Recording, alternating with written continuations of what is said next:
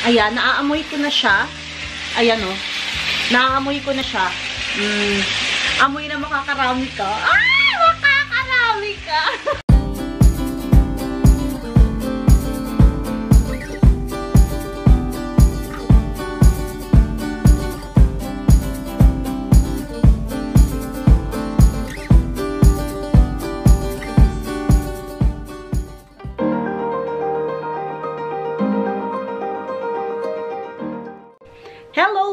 beautiful people! Ayan, kakauwi ko lang from work.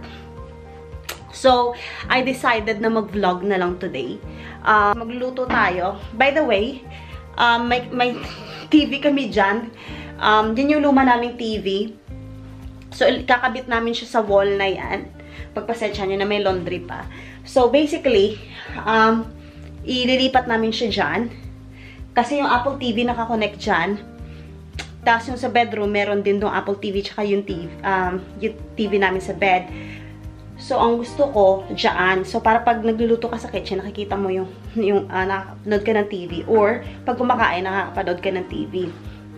So, eto, bumili ako ng um, bracket para sa TV. So, Nick will install that on Wednesday when he's free.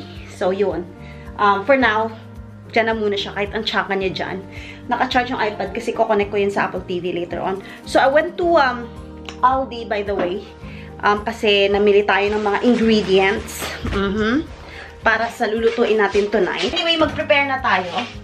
So, magluluto tayo ng uh, chicken mushroom um, with veg on the side. Mm. Etong recipe na to, I'm pretty sure sa mga wifey dyan or mga girlfriend dyan, yan, o mga ganyan. Titirik ang mata ng jowa niyo, te!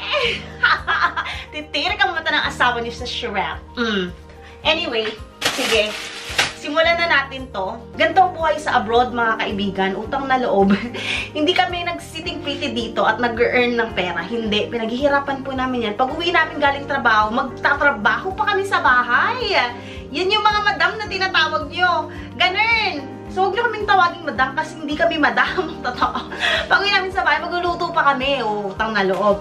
O, ayan. Tapos pag may labahan, maglalaba ka pa. O, diba? Totoong madam, pag uwi mo, nakahain na yung pagkain mo sa sa table, tas kakain ka na lang, ano po. Tapos pagkatapos tatayo ka na lang dahil may mag-iimis na at maglilinis yan. Ganyan yung buhay sa Pilipinas, kaya minsan nakakamiss din. Pero ganito talaga yung buhay dito. Wala tayong choice dahil wala, walang tutulong sa atin, kundi sarili lang natin. Yan, makapag-vent out lang na, alam mo yun, ang pagod-pagod mo na sa gal galing work, pag uwi magluto ka pa. Mm. Ayan, so ito na. Baba natin yun ng konti. So, itong mushroom, basan muna natin siya.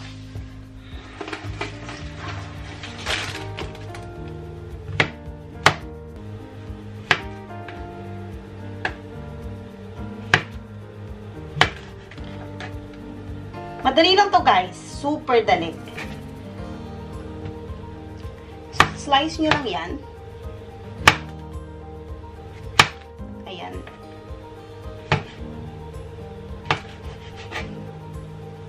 Hatiin nyo lang siya. Kagaya ng paghati ng ex nyo sa puso mo na maghiwalay kayo. Charot. Ayan.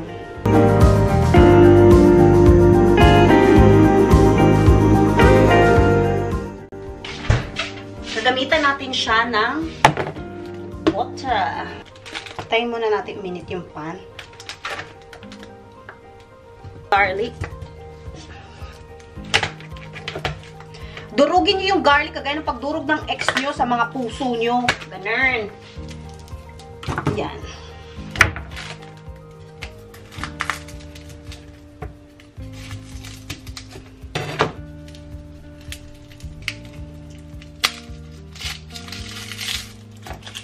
Siguro mga tatlo lang. Enough na. Ay, apat na lang. Actually, isang beses nga lang dapat durugin. Enough na dapat eh. Huwag nang ano eh. Bigyan ng chance eh. Pag dinurog, let go na. Diyos ko. Titiis ka pa ba? Maghanap ka na lang ng lalaking di dudurog sa puso mo, ano? Nakakaloka. Mm, siya. Mainit na siya. Gaya ng pagmamahalan nyo ng jowa mo. Mainit na. Kasi bago pa lang kayo. Pero pag nagtagal na, Diyos ko, maumay din kayo sa isa.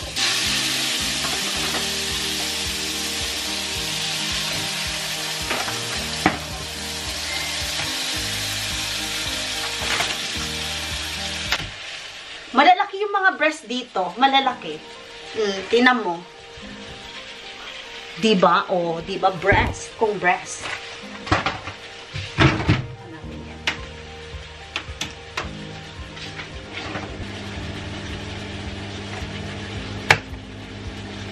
Natanggalin mo natin yung edges.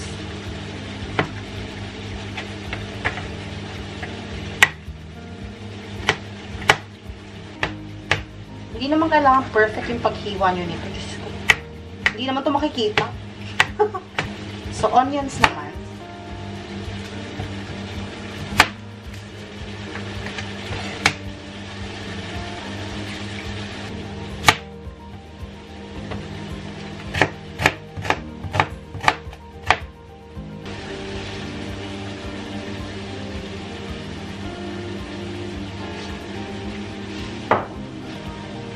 Pepper? Nasaan ang pepper nito? Oy?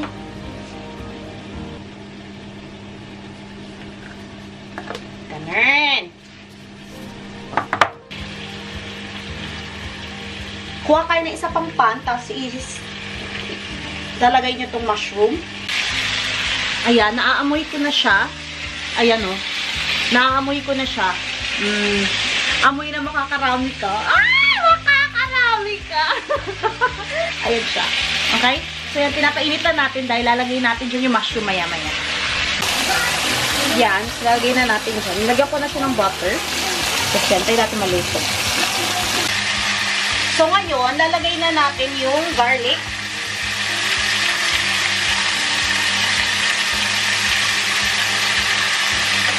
And then, yung onion.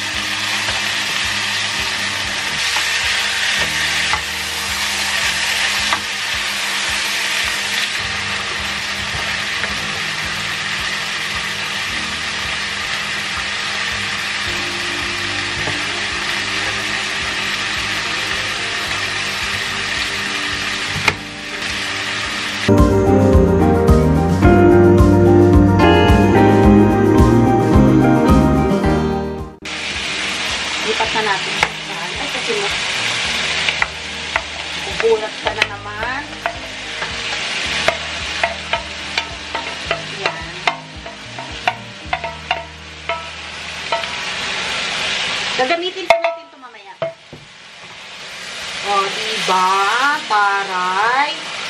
O. Tapos ito, bubuksan natin itong white wine lalasingin natin yung mga asawa natin at mga jowa natin para tumirik ang mata mamaya. O, di ba? O, di ba? Lasingin, Char.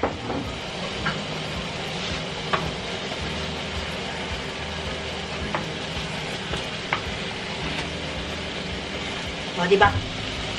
Oh, taray. Hmm.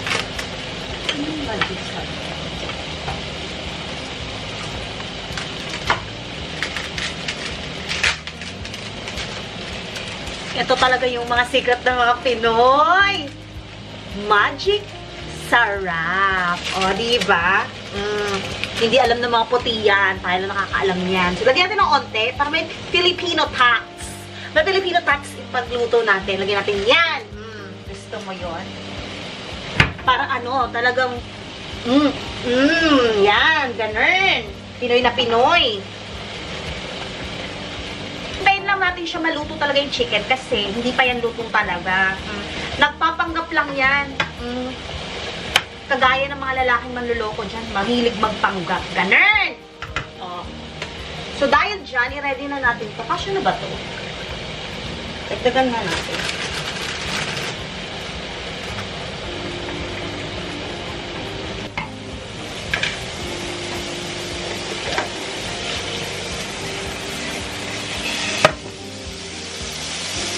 Lagay lang natin siya dyan. O, diba? Kailangan natin siya maluto sa butter. na natin itong cream.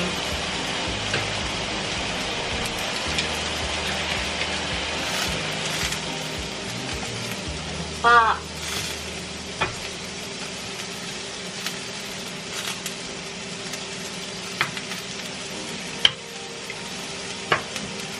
O, diba? Ang taray talaga ng pagluto.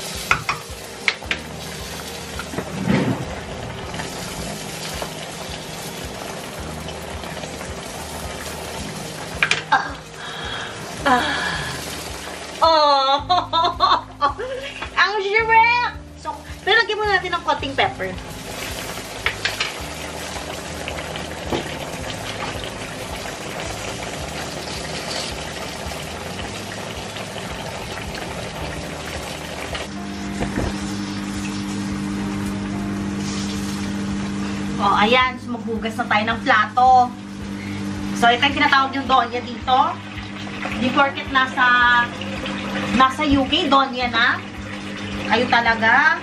Ito talaga yung Donya. Naghuhugas ng plato. Mm. Kayo talaga. Baka rinig lang kayong galing abroad eh. Alert agad kayo. Kala nyo naman, pinupulot yung pera dito. Kayo pa magalit pag di nag-reply. Ngutang lang naman kayo. Hindi nyo ba alam na? Papagod din kaya kami dito. Pag uwi mo galing work, eto, magluluto ka pa. Pagsisilbihan mo pa yung asawa mo. Mm. Kala nyo ah. Nagpipitas kami ng ano, ng pounds. Parang namimitas lang ng mansanas. Hindi kaya. This is a reality, people. Galing work, pag uwi, magluluto, ganun.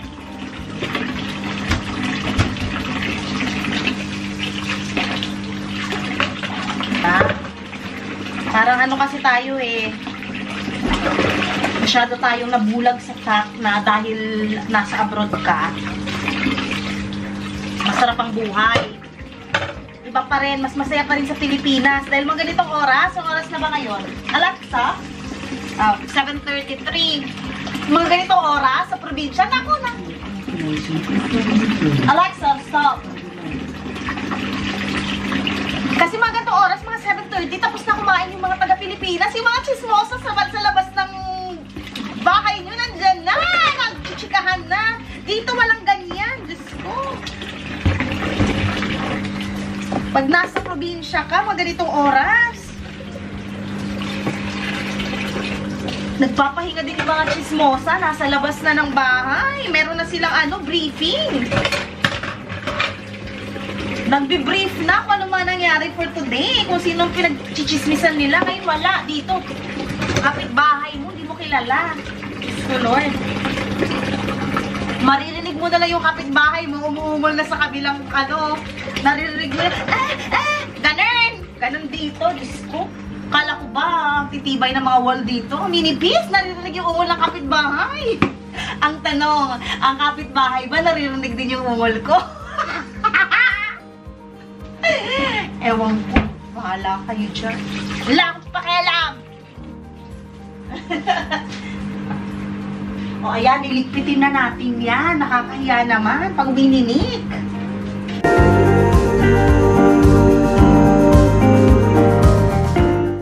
Ganito dito.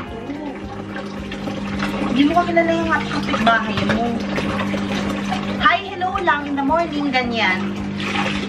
Konting usapan lang, hindi yung kagaya lang sa atin na, Diyos lahat ng detalye ng buhay mo, alam ng kapitbahay mo. Diyos ko ipi-plating na natin. Ay, taray, may pa-plating. Mm. Ay, ito na lang gamitin natin. Orasan.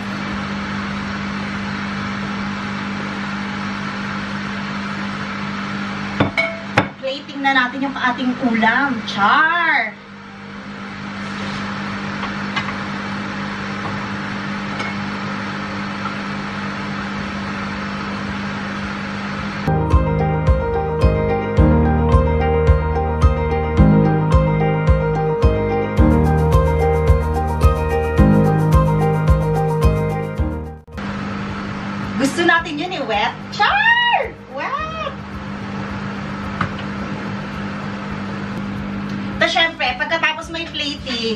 Plating, di ba? Like, pipicturean mo. Mm, papakita mo sa Pilipinas, nasosyal ka kahit di naman. Kahit ending naman, galing work, ikaw pa magluluto, ikaw pa mag-aano, Diyos ko Lord. Mm. Tuloy, yung mga kapitbahay mo, na hindi mo na naka, nakausap ng mga sampung taon, nagme-message tayo, nanghihingi ng ano, ng pera. Diyos ko, wala man lang kay hello. Hindi ka bumati ng birthday mo. Diyos ko, lakas ng loob mag-ano. Mag-message, ganyan. O, ayan. Papakita ko na sa inyo yung plating. Pak! Plating. Patayin na natin to. Tapos na yan. O, diba? Restaurant quality. Martika. Mmm, pak! Ayan. Manonood tayo ng vlog ni Ivana. Tayo, guys. O, diba? So, ayan. Wala pa si Nikki. Mauna akong kakain sa kanila. Mamaya pa yun. Mm. So, pagdating niya, under, naka-ready na yung food niya. Para mamaya tingnan natin kung titirik talaga yung mata niya! Ano? Welcome back to Ang ingay ni Ivana, Video shoot ako. Ay medyo kakaiba dahil hindi ako magagala dito sa bahay. Ayan, manonood muna ako, ha? Magbumas pa rin ako para safe pa rin tayo. Our video for today is Happy Random People. So magagala ako dyan sa kalye, sa labas. Around Manila, hindi lang isang lugar. Mag-iikot-ikot kami and magpa-prank ako ng mga random people. Gano? First time ko siya magagawa sa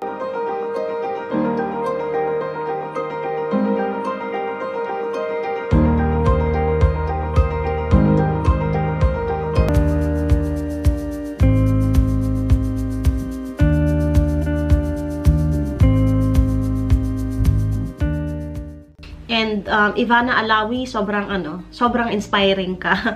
um, keep doing what you're doing. Um, you inspire a lot of people. And, ayan, proud na makita ka na proud ka din. Um, to let other people know na your, your, your Philippine roots. Kasi we all know na hindi naman talaga siya pure Filipina. Ah, meron siyang, ano, um, uh, mix, kumbaga. Pero, proud talaga siya na Pinoy siya. So, very inspiring. Ang, yung totoong vlog ko na dapat magpapatawa ako. Tang nalog ako yung umiyak. Shoot, ka, iba na. Pinayak mo ako. Anyari, musit ka. Anyway, ayan. Um, thank you guys for watching. Hintayin natin si Nick mamaya. And if you did enjoy this sort of video, very, very random lang, please don't forget to hit that like button. And if you're new to this channel, please don't forget to subscribe. See you again soon. Bye!